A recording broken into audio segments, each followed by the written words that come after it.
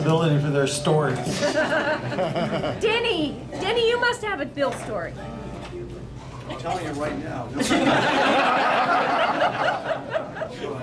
Go on, Danny. Come on, Denny. Uh, I'm not good at this stuff. Oh, yes, you oh, are. We know you. Yay, Danny. There he is. Tell them about prison. Sorry, sorry. Um, is that you, Bubba?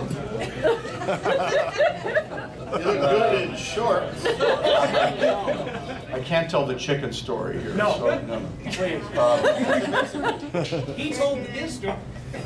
This, that's what. I had- uh, When, when Bill and I were in the, I met Bill in the Cardinals, actually, and, and we were on tour. Our first, uh, and the, the band was really pretty neat because we were doing old Flatt and Scruggs stuff at a time when it was like jam, uh, the Newgrass Revival was starting to hit, and, and, and the Cardinals were the only band that were, was playing the, that was playing, I, I could still hear that. I thought it was my tinnitus for a second, but it wasn't, it was just. You a- got sleep apnea. and, and uh, so we had the, uh, the first tour, I think Annie was, I believe it was like at least six weeks, maybe a little bit less, but we just finished the very first Cardinals album.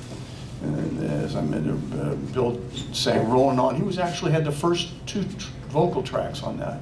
Randy Graham, great singer, this and that. But anyway, we're on tour, and we, uh, no, I got time. Uh, We get to, we get to Washington, uh, DC, we're playing at, uh, we played at the uh, Birchmere, yeah. And uh, Bill says, well, here, we're here for four days, I- I'm, I'm gonna go to the Smithsonian and look, he, and because he was a- the best read guy I know, not, you know. And, and Don Parmley, who was the leader of the band, said, now Bryson, why are you going to the Smithsonian?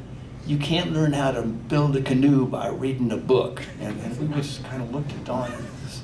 But uh, later on, we were in Columbus, I believe, and Don Parmley, uh, who has recently passed as well, uh, was a driver for Continental Trailways for years, and quit that job to play bluegrass full time.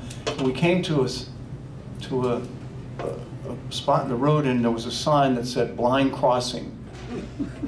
And Bill and I are sitting in the back, and we're about four weeks into this tour with these boys, and and uh, Don says, "Look at that sign." He says, uh, it says blind crossing.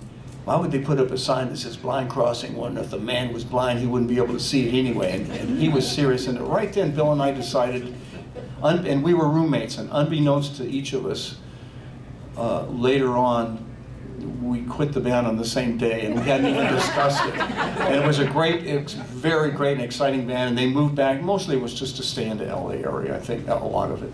Uh, they moved back east, became you know, hugely famous and all of that. But that's it. I mean, I don't, I don't have any other. And, and I, and I lived in Frank Sullivan's garage because of Bill. That's, but that's for And things haven't changed. I just moved from one garage to another.